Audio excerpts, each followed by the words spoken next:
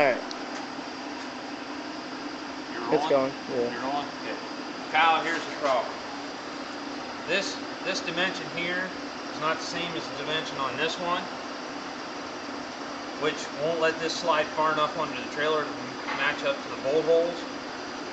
The other problem is this dimension here is different than the dimension on the old one, which affects the width of the door opening, where the track goes against here and how far they can move the track.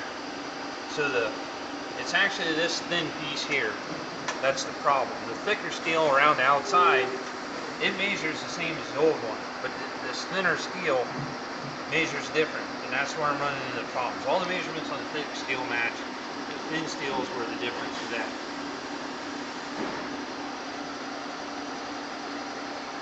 Help me.